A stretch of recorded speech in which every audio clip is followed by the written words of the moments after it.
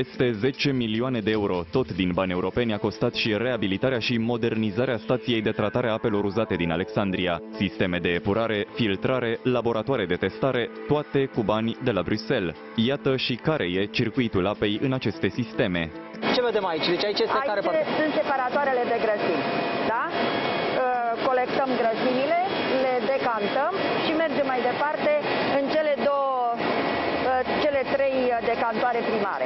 Ce- ce- Exact, ce vedem mai departe? Deci, Mai uh, departe vedem tot treaptă mecanică, decantarea primară, se liniștește apa, sunt uh, podurile racloare care mișcă și colectează ceea ce găsește așa, apa se liniștește, nămolul se rămâne pe fund, iar apa își merge mai departe pe uh, circuitul ei pe, uh, uh, pe bioreactoare, adică pe biologic. uh, prin cu acest nămol, cu depurarea aceste biologică. reziduri care rămân, ce faceți?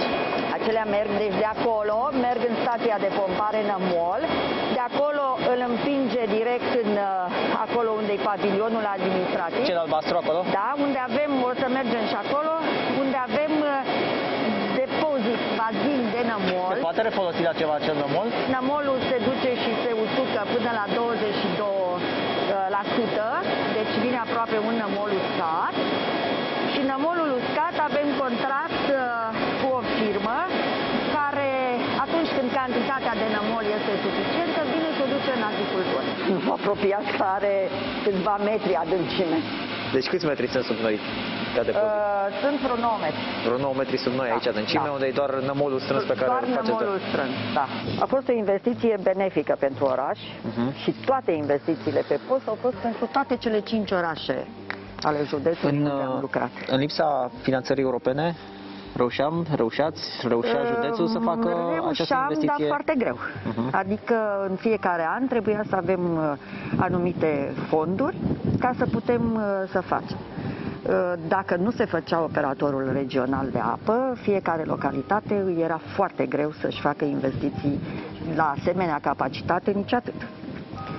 Dar uh, Uniunea Europeană a impus uh, operatorul regional, am, uh, ne-am unit, cele cinci orașe și județul și am făcut... uh, Și ca tehnologie, cam la ce nivel e, ați spune? E o, e o, e o, e o tehnologie de este vârf în ultima momentul ăsta? tehnologie a Uniunii Europene. Mhm. Nouă, tehnologie nouă.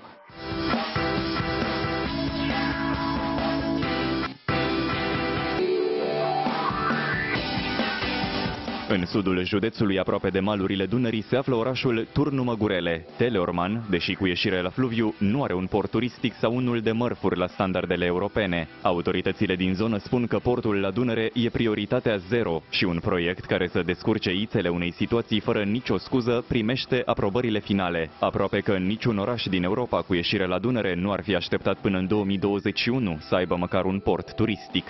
În momentul ăsta uh, nu este într-o stare foarte bună. Căile de acces, uh, zona respectivă, platforma sunt deteriorate și la fel ca la toate celelalte obiective am căutat, am identificat, am întocmit studiul de fezabilitate și deja avem depus un proiect la Ministerul Transporturilor.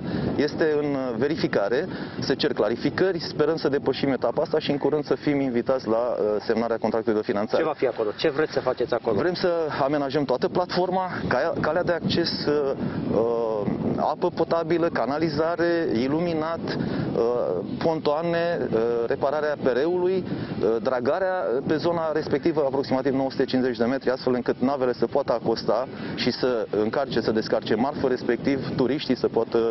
Deci astea ar fi câștigurile la care vă uitați ulterior. Vreți să aduceți turiștii aproape, vreți să aduceți exact, uh, transportul da, de marfă mult mai aproape. Exact, da. E păcat, v-am zis, am depus proiectul, am înțeles că ar fi singurul proiect uh, depus pentru reabilitarea porturilor dunărene. Sperăm să, să avem câștig de cauză și să semnăm contractul de finanțare. Ar fi ceva extraordinar peste noi. Pentru noi sunt convins că uh, după ce seara să încheia activitățile comerciale, uh, cetățenii din municipiu și tineri și bătrâni ar putea să beneficieze de zona respectivă, luminată, corect, uh, păzită, corespunzător și să, să admire de ce nu a pus soarelui pe malul Dunării. Pentru că avem și trebuie să, să punem în valoare chestia asta.